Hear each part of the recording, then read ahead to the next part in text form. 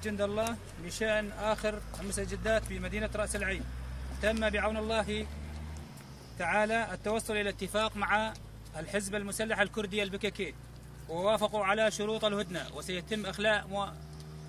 مدينة رأس العين إخلاءهم من مواقعهم من مدينة رأس العين وكان الاتفاق على الشكل التالي وهي بنود الهدنة التي وضعها المجاهدين من الجيش الحر وهي واحد خروج المسلحين الأكراد من رأس العين. اثنين يمنع دخول أي مسلح كردي إلى رأس العين.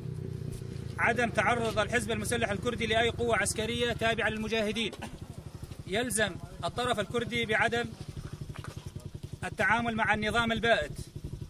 ونضمن سلامتهم بعون الله تعالى وحمايتهم وعيشهم بإذن الله في مدينة رأس العين. والله ولي التوفيق. انتظرنا يا بشار بالقصر جايينك بعون الله. تكبير! الله أكبر! تكبير! الله أكبر!